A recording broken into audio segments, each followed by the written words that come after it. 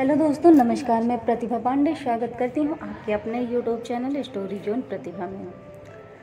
तो दोस्तों, आज हम आपके लिए लाए हैं माँ दुर्गा की आठ मुख्य शक्तियाँ। माँ दुर्गा की आठ मुख्य शक्तियाँ कौन होती हैं? क्या आप माँ दुर्गा की आठ शक्तियों के बारे में जानते हैं? अगर नहीं जानते हैं तो हमारे वीडियो में लास्ट तक बने रहिए और हम आपको बताने जा रहे हैं माँ दुर्गा की आठ मुख्य शक्तियाँ। वैसे तो माता दुर्गा की शक्ति की कोई सीमा नहीं। किंतु देवी भागवत में उनकी मुख्य आठ शक्तियों के बारे में बताया गया है, जो स्वयं परमपिता ब्रह्मा द्वारा वर्णित है। माता की आठ भुजाएँ, उनकी इन्हीं आठ शक्तियों का प्रतीक है।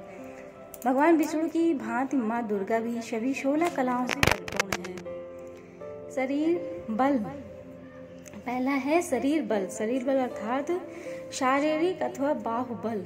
इसके विषय में बताने की कोई आवश्यकता नहीं है कि माता का बाहुबल कितना था? इनका प्रकाट स्वयं त्रिदेवों की सम्मिलित शक्ति से हुआ हो, उनकी शक्ति की भला क्या सीमा? अपनी बाहुबल से माता ने महिषासुर रक्त बीज एवं शुंभ निशुंभ महाशक्तिशाली दैत्यों का वध किया। ध्रुमलोचन के साठ हज़ार। दुधुर्ष योद्धाओं की सेना को तो माता ने केवल अपने एक हुंकार से भस्म कर दिया था। और दूसरा है विद्या बल माता सरस्वती की भांति माँ दुर्गा भी समस्त विद्याओं की अधिष्ठात्री हैं। विद्या अर्थ संसार में जो भी ज्ञान है, वो माता में ही समाहित है और उन्हीं से उनका संचार समस्त जगत में होता है। जितने प्रकार की भी दैवीय शक्तियाँ और सिद्धियाँ वे सभी माता दुर्गा के अधीन हैं। और तीसरा है चतुर्बल। जहाँ शक्ति की सीमा समाप्त होती है, वहाँ से बुद्ध की सीमा आरंभ होती है। बुद्धि के बल पर बड़े से बड़े योद्धाओं को परास्त किया जा सकता है। विद्या की भांति माँ दुर्गा बुद्धि का मूल भी है। निशुंभ की सेना का नाश करने हेतु माता ने चंड मुंड को अपनी बुद्धि बल से ही वापस भेजा, जिसके बाद वे बड़ी सेना लेकर आए और उन सबका माता के हाथों हाश हुआ, यानी नष्ट हुआ। धन बल, माँ दुर्गा, धन की देवी लक्ष्मी का ही एक रूप है। धन कुबेर तो स्वयं माता के परम भक्त हैं। संसार का समस्त ऐश्वर्य माता को ही सुशोभित है। जब भी माँ की कृपा अपने भक्तों पर होती है तो वे उन्हें धन धान से परिपूर्ण कर देती हैं। सहस्त्र बल। संसार का भला ऐसे कौन से अस्त्र शस्त्र हैं, जिनका ज्ञान माँ दुर्गा को नहीं है? तब त्रिदेवों से माता का प्रकाट हुआ तो त्रिदेवियों के आयुधों के साथ साथ सभी देवी देवताओं ने अपने अपने आयुध भी माता को दिए। जिससे माँ दुर्गा संसार से दुष्टों का नाश कर सके। संसार की जितनी भी शक्तियाँ और दिव्यास्त्र हैं, उनका ज्ञान माता को हो। और शौर्य बल, शक्ति जब अपनी अधिकतम सीमा पर पहुँच जाती है तो शौर्य में परिणत हो जाती है।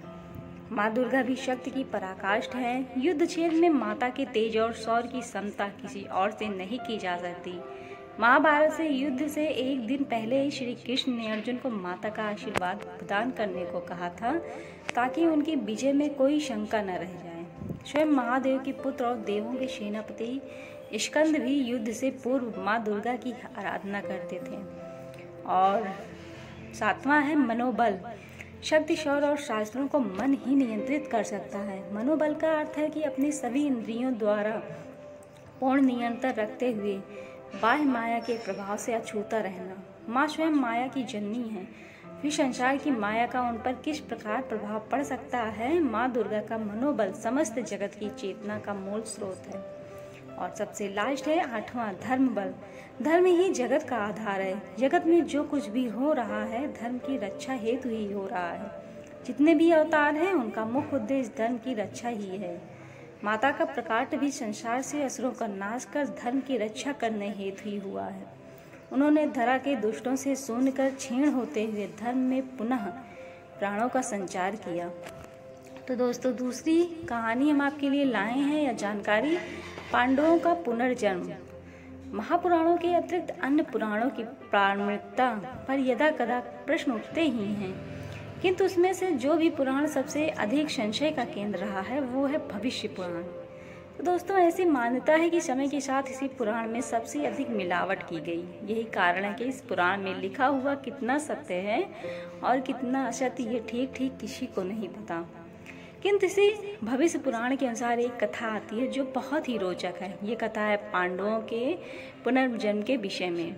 हालाँकि महाभारत के अनुसार युद्ध के 36 वर्षों के पश्चात पांडव द्रौपदी सहित स्वर्ग चले गए थे, किंतु भविष्य पुराण के अनुसार उनका पुनर्जन्म हुआ था। इसका वर्णन भविष्य पुराण के प्रतिसर्ग पर्व के तीसरे खंड के पहले अध्याय में दिया गया है। तो आइए इसके विषय में कुछ जानते हैं। जब महाभारत युद्ध समाप्त हुआ तो श्री कृष्ण ने भगवान रुद्र की स्तुति की, जिस कारण वह अपने एक अंश के रूप में पांडवों के शिविर की रक्षा करने आए। उधर उन्हीं की एक अन्य अंश, अश्वत्थामा, जब कृपाचार्य और कृतवर्मा के साथ वहाँ आक्रमण करने पहुँचे तो द्वार पर एक विकराल आकृत को देखकर भय से रुक गए। वे समझ गए कि ये महादेव का ही एक रूप है और उन्होंने स्तुति कर उन्हें प्रसन्न कर लिया।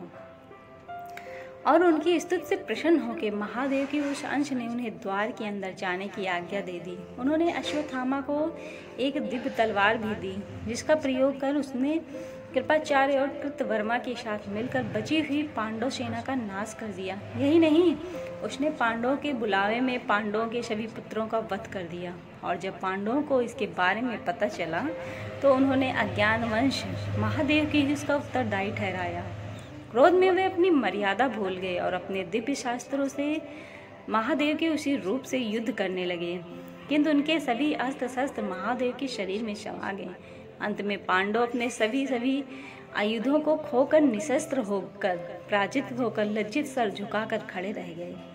तब रुद्र के रूस रूप ने कहा, हे पांडव, तुम सभी श्री कृष्ण के प्रिय हो और उनकी कृपा भी तुम्हें प्राप्त है, इसलिए मैं तुम्हें क्षमा करता हूँ। अन्यथा तुम सभी वध के योग हो।